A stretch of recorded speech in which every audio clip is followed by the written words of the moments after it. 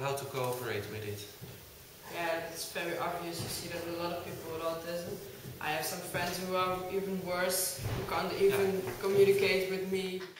A person with autism uh, generally has problems with its communication and also um, the communication, it is hard for them to, to see facial expressions.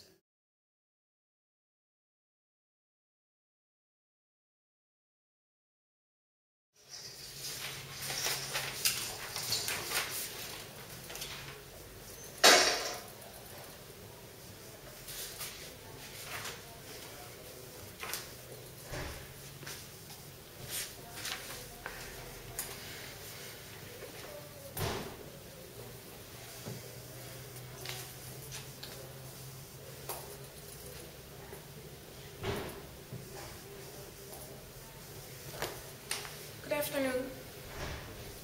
Sorry? I can hear you.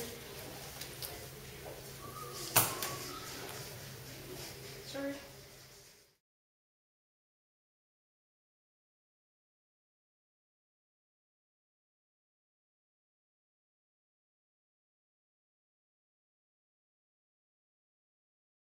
Were able to concentrate? with the- No, not really. No? Oh, I'll put it off